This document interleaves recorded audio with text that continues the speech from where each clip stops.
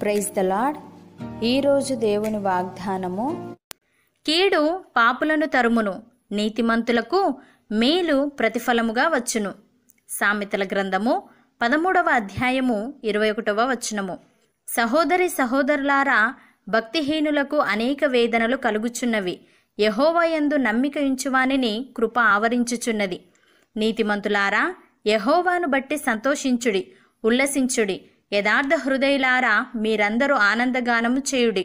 భక్తుడు ఈ విధంగా అంటున్నాడు దేవుడు ప్రతి వానికి వాని వాని క్రియల చొప్పున ప్రతిఫలమిచ్చును.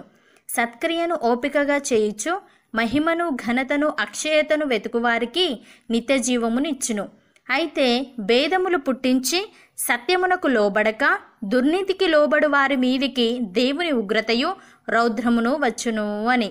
ప్రియులారా భక్తి విడిచిన వాని మార్గములు వానికే విక్కసమగును. మంచివాని స్వభావము వానికే సంతోషమిచ్చును. జ్ఞానము లేనివాడు ప్రతి మాట నమ్మును. వివేకి అయినవాడు తన నడతలను బాగుగా కనిపెట్టును. జ్ఞానము గలవాడు భయపడి కీడు నుండి తొలగును బుద్ధిహీనుడు విర్రవీగి నిర్భయముగా తిరుగును.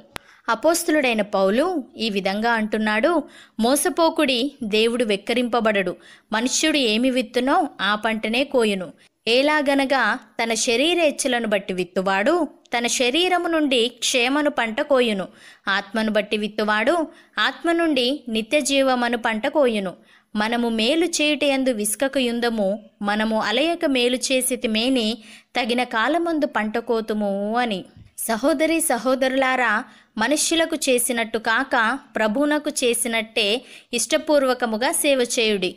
దాసుడైనను స్వతంత్రుడైనను మీలో ప్రతివాడును ఏ సత్కార్యము చేయునో దాని ఫలము ప్రభువు వలన పొందునని మీరెరుగుదురు.